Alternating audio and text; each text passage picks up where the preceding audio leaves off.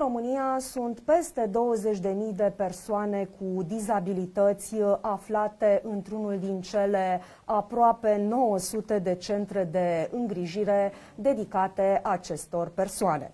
Ce poate face statul român pentru acești pacienți în condițiile în care vizitele de monitorizare ale inspectorilor Consiliului de Monitorizare au scos la iveală grave nereguli ce pun în pericol chiar viața acestor pacienți, ce schimbări sunt absolut necesare pentru ca aceste persoane să aibă condiții decente de trai, să aibă parte de un personal uh, calificat. Vom discuta în cele ce urmează cu domnul doctor uh, Emanuel Botnariu, președintele Consiliului de Monitorizare și, bineînțeles, de profesie medic-psihiatru.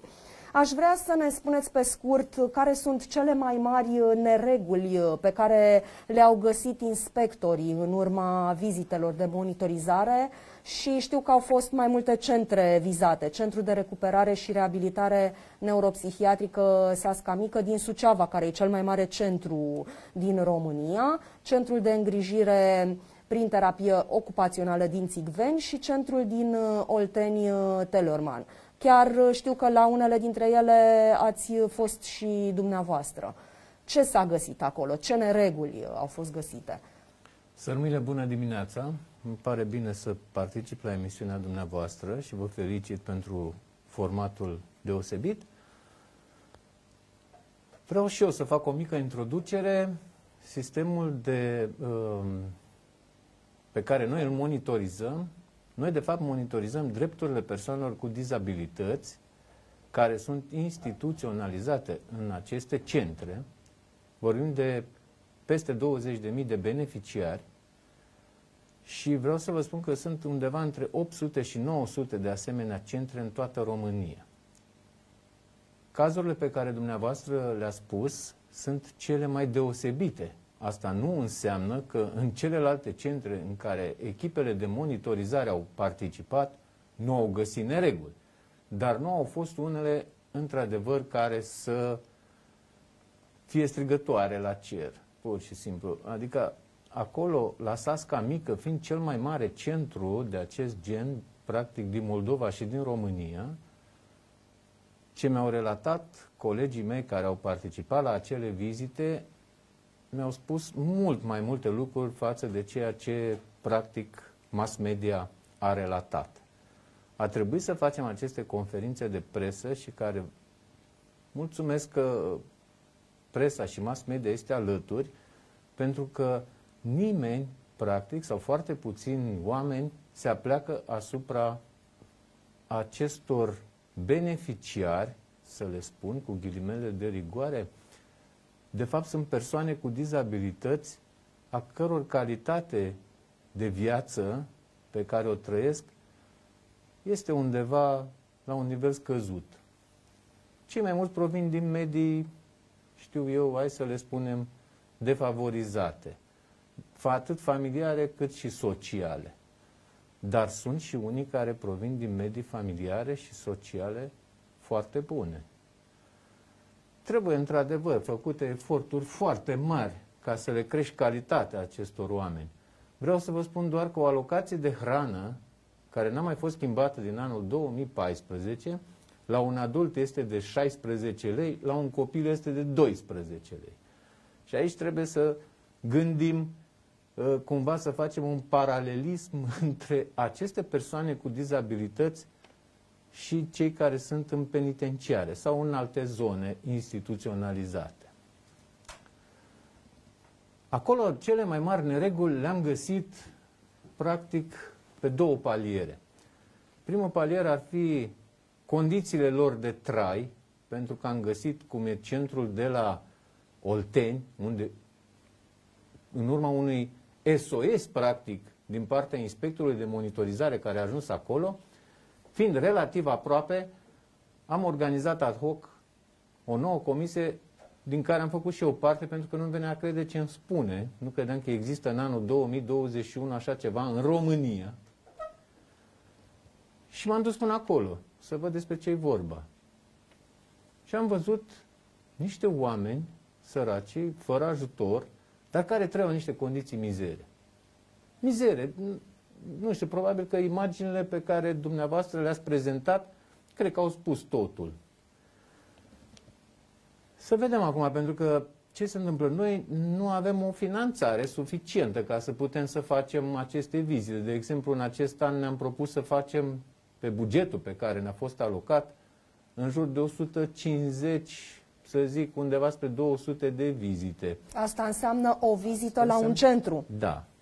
Deci vă dați seama, până să ajungem, în mod normal, trebuia să fi văzut toate unitățile din România, 8, între 800 și 900 variază numărul de, de centre de la o lună la alta chiar, uh, să poți să faci, vă dați seama că îți trebuie un buget de patru ori mai mare, practic. Și Încă, resursă umană, înțeleg. Și resursă umană, pentru că din momentul în care am ajuns să, să fiu președintele acestui Consiliu de Monitorizare, m-am uitat pe organigramă și am văzut doar 10 inspectori de monitorizare ceea ce practic este foarte puțin. Iar o vizită de monitorizare totuși presupune o cheltuială, pentru că în momentul în care monitorizezi din București, trimiți inspectorul la Arad sau în vestul țării sau în nordul țării sau în sud-vestul României, înseamnă o distanță. Înseamnă o cheltuială de deplasare, o cheltuială cu cazarea și plus că pe lângă inspectorul de monitorizare, o echipă este formată și din doi experți pe care tot noi îi desemnăm, experți care ajung uh, în urma unei uh, selecții pe care noi la Consiliul de Monitorizare o facem și echipa e compusă din trei oameni. Doi experți care fac parte din societatea civilă și un inspector de monitorizare care este angajatul Consiliului de Monitorizare. Și toți merg în aceste vizite.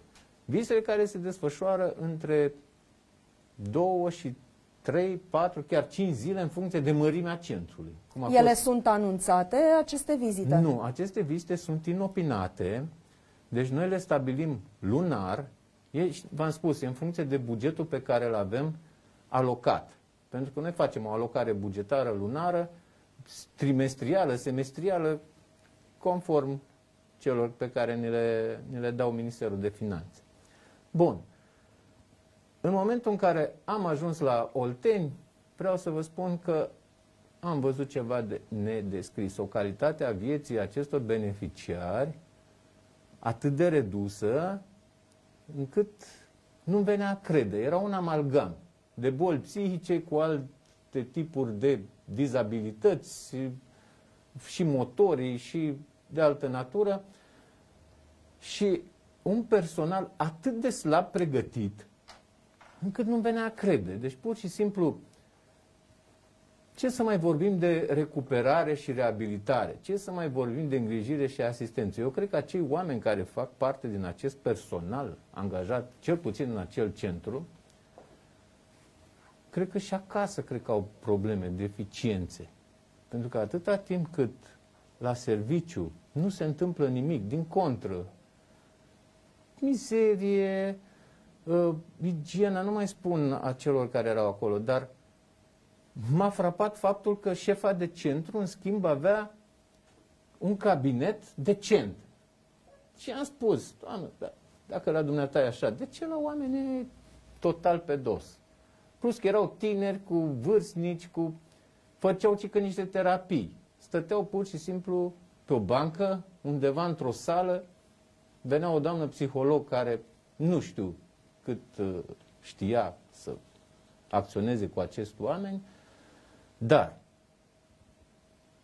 problema pe care eu o ridic și o problemă majoră este, dumne, în momentul în care ai ajuns într-o asemenea zonă, să lucrezi cu asemenea oameni, trebuie să-ți facă, trebuie să o faci pasional, să nu zic din plăcere.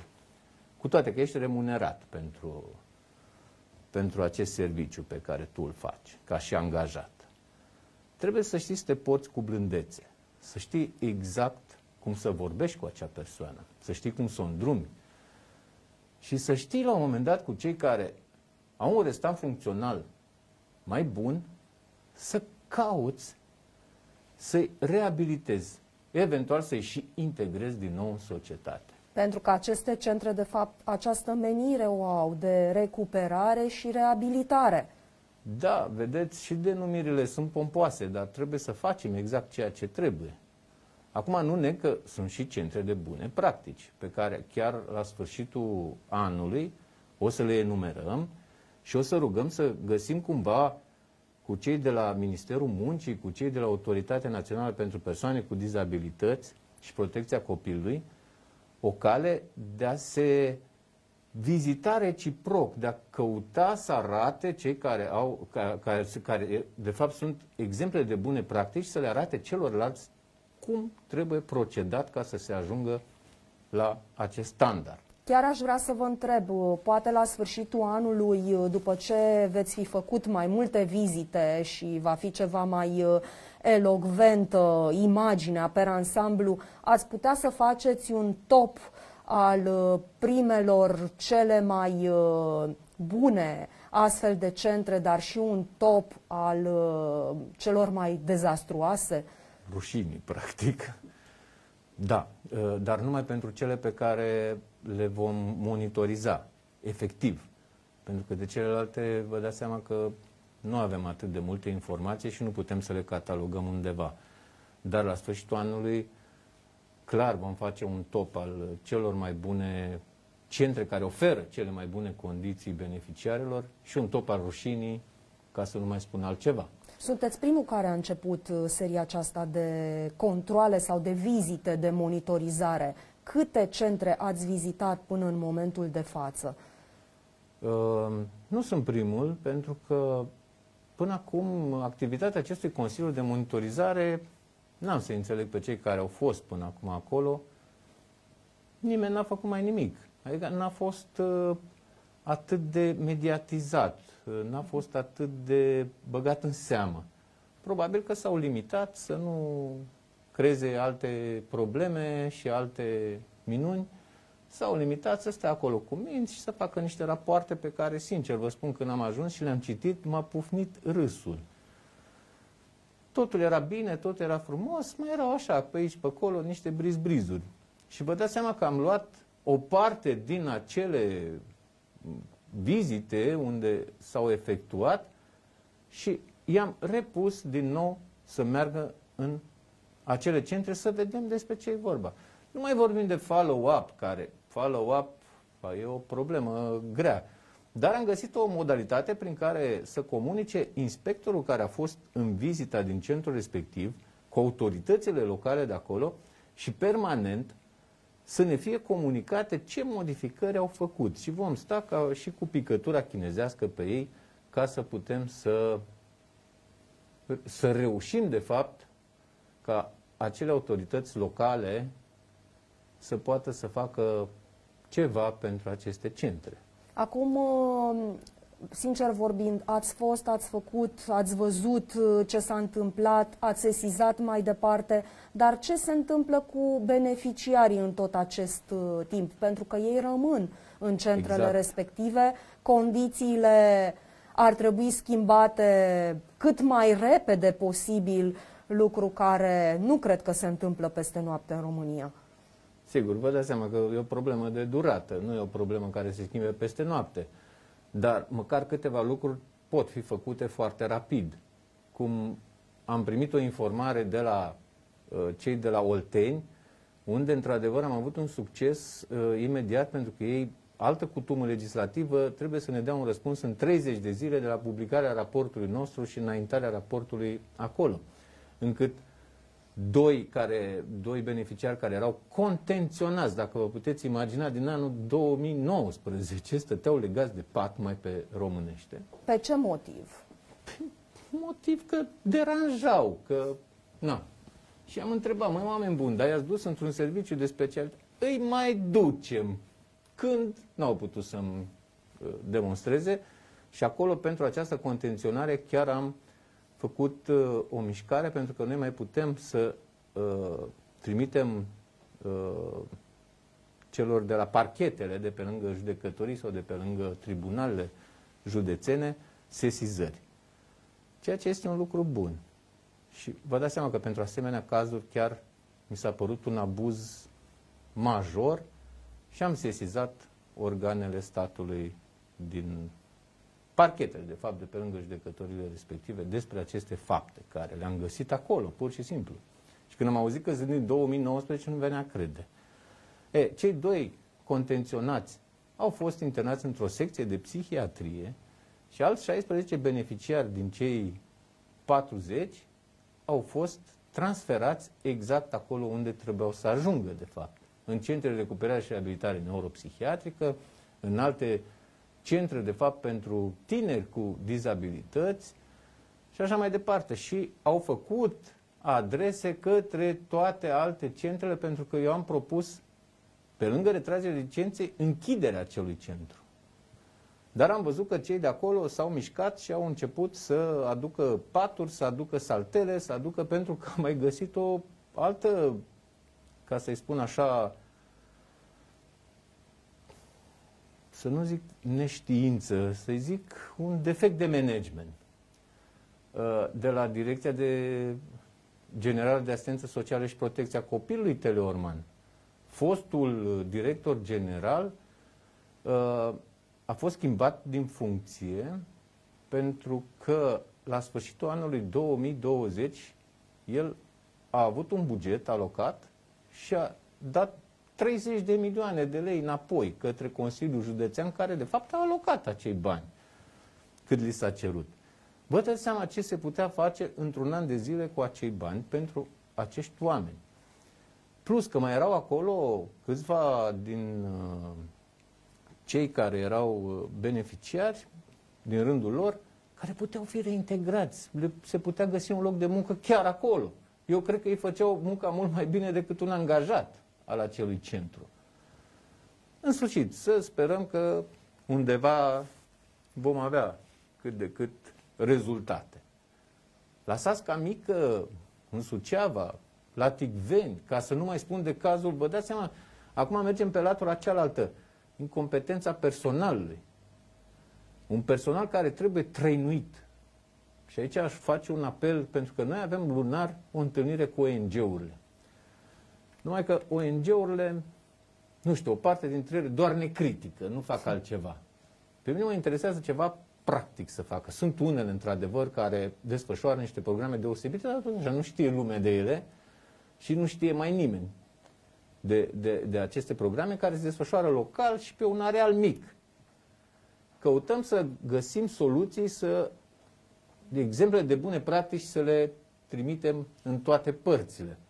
E, și poate o parte din aceste ONG-uri se vor implica pentru că odată pornit acest proces de dezinstituționalizare, cum îi spune, nu vreau ca într-un centru care are 100 de beneficiari și are două clădiri, practic am făcut un gard și am făcut 50 într-o parte, 50 în cealaltă, dar creștem schema de personal. În schimb și de personal care, TESA, cum îi se spunea înainte, uh, punem doi șefi de centru, punem doi directori economici, doi cu tare, doi cu tare. Vă dați seama că și aici e o nebuloasă.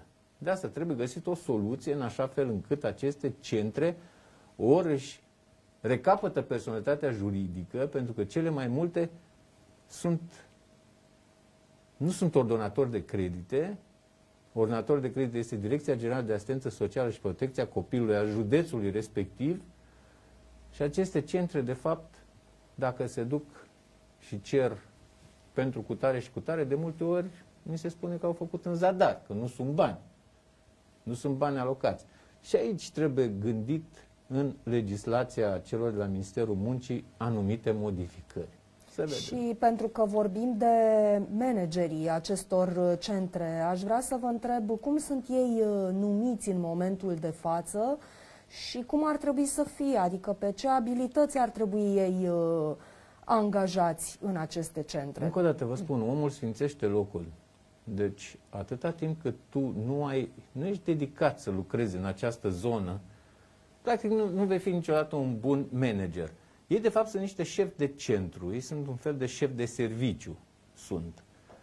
Uh, Bănuiesc că dau un concurs pentru a accede pe acel loc, acum nu știu cum, pentru că am găsit uh, soția lui Cutare sau nepotul lui cu tare și așa mai departe. Deci iarăși ajungem în zona asta politizată, ca să-i spun pe, pe șleau.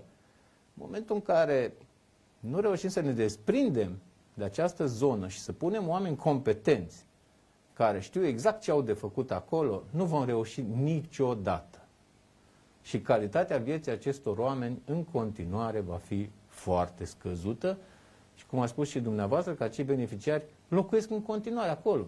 Pe, bun, locuiesc, dar hai să facem ceva măcar să le creștem calitatea vieții. Să le asigurăm condiții administrative mai bune, să le asigurăm un personal calificat care să-i îngrijească, să-i recupereze și să-i reabiliteze. Exact cum spune denumirea. Ați uh, afirmat în declarația, într-o uh, conferință de presă pe care am uh, văzut-o recent referitoare la aceste vizite, Doamne ferește să ai, o să, ai o, să ai ca familie un beneficiar și care să ajungă într-un asemenea centru. Ei bine, sunt atâtea familii care au astfel de persoane și unele chiar recurg în aduce într-un astfel de centru, fie el de stat, fie privat, din România, în speranța că va fi mai bine îngrijit decât acasă. Ei bine, vreau să vă întreb cum este la privat dacă veți merge sau ați mers deja și în centre private și ce îi sfătuiți pe uh, aparținătorii acestor uh, beneficiari. Deci aici sunt două tipuri de uh, aparținători, ca să le spunem așa. Unii care pur și simplu nu au nici timpul necesar, cu toate că și-ar dori să nu îi, să-i trimeată în asemenea centre pe acei ori vârstnici, ori probleme cu de, uh, oameni cu deficiențe și cu dizabilități, dar sunt și unii care chiar își doresc să scape de el de acasă, mai pe românește. Uh, prima categorie, eu zic că le pasă. Și aș îndruma foarte mult în momentul în care iau o asemenea decizie să se intereseze foarte bine de condițiile și de calificarea personalului din acele centre unde urmează să, să se ducă acești beneficiari, public sau privat. Pentru că să nu credeți că și în privat n-am găsit cu probleme. Că totul e foarte bine și frumos, dar uh, înăuntru se întâmplă altceva. Dar am găsit și exemple de bune practici la stat, în primul rând, ceea ce m-a impresionat. Mi-a părut foarte bine. Mi-a părut. Nu necă și în privat. Sunt unele unde se asigură condiții deosebite. Acum depinde și de buzunarul fiecăruia, că na, la privat, vă dați seama, prețurile sunt într-un fel sau altul mai mari. Sunt. Dar pe mine mă interesează ca acest sistem de stat să fie performant, că atunci automat și privatul va fi performant. Dacă noi reușim în instituțiile de stat să creștem calitatea condițiilor hoteliere, practic, pentru cei care stau acolo, mă dau seama, cei mai mulți nu mai ies de acolo, din acest centru, sunt pe viață sunt. Și de ce să nu aibă o viață cât de cât liniștită și cu anumite condiții bune, bune în, pentru cel care se uită acolo și privește acolo. Și să nu spunem că l-am trimis acolo doar să scăpăm de el și nu mai contează ce condiții trăiește. Și doi, calificarea personalului. Iarăși, insist foarte mult pe acest termen. Trebuie să-ți facă plăcere, în primul rând, să lucrezi cu asemenea oameni și să vrei să lucrezi în continuare, pentru că la un moment dat apare o rutină. Și de aici apare cazul Călinești, unde s-a îmbătat un infirmier și s-a apucat la bătut pe un beneficiar până când l-a omorât. Ceea ce vă dați seama, trăim în altă lume în acel moment. Tocmai de aceea aș vrea să vă propun uh, să discutăm uh, într-un uh, alt interviu despre personalul medical și personalul auxiliar care ar trebui să lucreze în astfel de centre, cum trebuie el să fie calificat și poate ne și dați câteva exemple și pozitive, dar și negative. Uh, poate ne oferiți și câteva mesaje pe care să le transmitem autorităților, uh, beneficiarilor din centre care așteaptă până la urmă o salvare de undeva. Um, o să vă invit să discutăm despre toate aceste lucruri, uh, dar pentru că ne apropiem uh, de final cu această transmisie live, aș vrea să vă întreb din cele aproape 900 de centre care există, câte credeți că se află în uh, aceste situații dezastruoase, așa cum le-ați găsit pe cele pe care le-ați vizitat până acum? Nu, într-o situație dezastruoasă, din ce am văzut până acum, undeva la 10% s-ar încadra în această situație dezastruoasă. Noi sperăm să nu găsim foarte multe. Noi le-am prezentat pe aceste mai dezastroase pentru că, într-adevăr, acolo trebuie să se intervină și trebuie ca autoritățile să... Poate unii știau, unii nu știau și de aici am făcut și aceste uh, SOS-uri către mass media din România să prezentăm aceste cazuri. Și pentru noi vreau să vă spun că mass media este un aliat principal. Este, pentru că noi odată prezentând aceste cazuri, inclusiv mass media uh, revin în acele locuri și se interesează de transformările și de tot ceea ce s-a întâmplat în aceste centre ulterior descrierii fapte. Bun. Uh, Vă dați seama că pentru noi Consiliul de Monitorizare uh, este un efort. Este un efort să facem cât mai multe centre, asta ne dorim. E în funcție de buget. Să sperăm că și autoritățile ne vor calibra în exercițiul financiar următor la adevărata noastră valoare, vrem să și modificăm legislația, pentru că trebuie să creștem numărul acestor inspectori, ne dorim foarte mult să facem, să accedem la fondurile europene, pentru că noi o altă cutumă, nu putem să accedem la fondurile europene. Împreună cu ONG-urile să putem să facem cât mai multe minuni, ca să-i spun, adică în procesul lor de recuperare, reabilitare, să putem să intervenim și cu societatea civilă eficient. Și atunci putem să vorbim de o coeziune, de o uh, întrepătrundere a celor două Uh, societății civile și cu societatea de stat din, din România. Și atunci dăm un exemplu și celor din mediul privat care automat vor ridica standardele uh, cali, pentru a crește calitatea vieții acestor beneficiari. Asta ar fi în mare ceea ce ne propunem noi. Bineînțeles că ne propunem și alte proiecte care o să le discutăm la acel moment. Avem în plan foarte multe lucruri, dar mai întâi să așezăm lucrurile acolo unde trebuie să fie. Vă mulțumesc mult de tot și, și vă mai așteptăm. Cu mare drag.